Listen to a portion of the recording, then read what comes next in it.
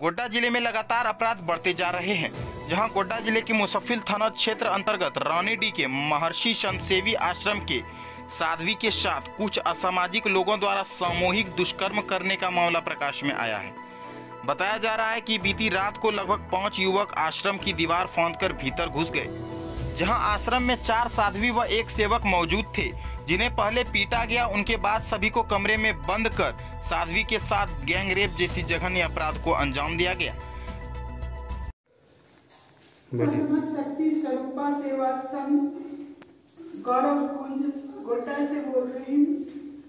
और आज जो मेरे साथ हुआ जो हमारे साथ हुआ हमारे आश्रम में घुस के हमें जो परेशान किया गया हमारी सील सीलमन की गई हमारी साधनाएँ नष्ट की गई हम साधुओं को जो तंग किया गया पूरे आश्रम में सभी को परेशान किया गया मारा पीटा गया।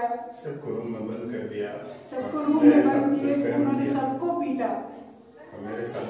और हमारे साथ जो उन्होंने दुराचार किया जो हमारी सील मांगी थी, हमारी साधना मांगी थी, वो इसके लिए हम न्याय चाहते हैं सरकार से कि उन चार लड़कों को फांसी की सजा दी जाए। अगर हम साधुओं के साथ ऐसे होता है तो हमारे राज्य की, हमारे देश की बच्चियाँ और माता बहनें कहाँ सुरक्षित रह पाती हैं? कहाँ सुरक्षित हैं? अगर सरकार ये नहीं करती है तो फिर सरकार के होने का क्या मतलब है हम ऐसे ही अगर लेंगे तो आप क्यों हो आपका होने का अर्थ क्या है अस्तित्व जो आके वो हमारे आश्रम में घुस के एक साधु के साथ जो इन्होंने किया। तो वो कल को हमारे देश की हमारे बच्चियों के साथ, हमारी माताओं, बहनों के साथ करेंगे तो हमारा देश सुरक्षित कैसे? वहीं इसकी सूचना मिलने पर मुसफिल थाना पुलिस घटनास्थल पर पहुँची, जिसके बाद तीन संदिग्ध दोषी को गिरफ़्तार कर लिया गया।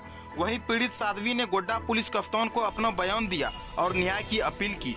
गोड्डा पुलिस कप्तान वाई एस रमेश ने बताया कि इस मामले की जाँच एक स्पेशल फॉरेंसिक टीम द्वारा की जाएगी। मामला है। क्या है मामला सर ये? अ, थाना अंतर्गत एक महर्षि आश्रम में गैंगरेप का मामला जो है जैसे विक्टिम के बयान पर जो है एक गैंगरेप का मामला सामने आया हुआ है। हम लोग उसमें एक special investigation team town inspector के नेतृत्व में और थाना प्रभारी मुफसिल और थाना प्रभारी महिला एक टीम गठित किया है। ऑलरेडी हम लोगों ने दो तीन आदमी को जो है संदिग्ध को थाने पर बुलाकर पूछताछ जारी है और बहुत जल्दी से जो है ये केस जो है खुलेगा सर हथियार के साथ जो है वो किया गया है। क्या हथियार वगैरह कुछ बरामद हुआ है सर? अभी हम लोग पूछताछ जारी है। अभी हम लोग कुछ संदिग्ध लोगों को लेके आए हैं। बहुत सारा डिटेल इन्वेस्टिगेशन किया जा रहा है और मैं आपको ये भी बताना चाहूँगा कि ये भी जो है साइंटिफिक एविडेंस साइंटिफिक तरीके से जो है हम लोग इसको अनुसंधान करेंगे। फोरेंसिक टीम का भी हम लोगों ने एक स्पेशल टीम बुलाया गया है। सारा फोरेंसिक एविडेंसेस हम लोगों ने कलेक्ट किया है। जो भी टेक्निकल एविडेंसेस है, वो भी हम लोगों ने कलेक्ट किया है।